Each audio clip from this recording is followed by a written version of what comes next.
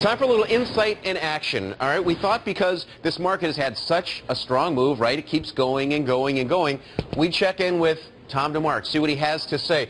We spoke this morning, and here's what he told us. He said, market top is imminent. All right, he says specifically it is likely next week, and he says upside propulsion to 1419 to 1426. You may say, wait a minute, he came on the show about a month ago and he went to cash. Yeah, that's right. He went to cash about 1342. He said it's getting too difficult to try to figure out what's happening right now. There's some unnatural things happening in the market. Specifically, we subsequently found out some of the central banks around the world, like Switzerland and Israel, were in buying stocks. So when you have that kind of action, he says, it gets very difficult. So you know what? Go to cash, just step back. You might miss the last few percent.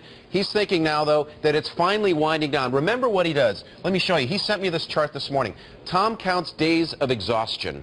All right, so you, you have a positive day, then you have another positive day, you take a pause, etc. Well, look at this chart. This is just over the past couple of days, and you can see he put numbers on there, so that was day three that he counts, day four, definitely. Is it, here we are right now, day 12. He's been running these models. He created them going back to the 70s. For him, the magic number is 13. When you get to that 13 count, that's the maximum days of exhaustion. He says we might get that next week, and he's saying you get that final push somewhere around 14 and a quarter. He says it's not there yet. He can't call it up. Remember, he went to cash a month ago. He's not willing. He's not really. He's not willing to say sell yet. That might come next week. If he does, we'll tell you exactly when, and we'll have some sort of downside.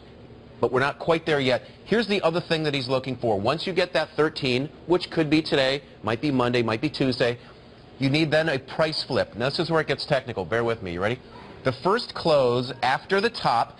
So if today's the top, it'll be the first close after the top starting Monday, which is below the close four days prior. So that would be last Tuesday. I know it's kind of technical, right?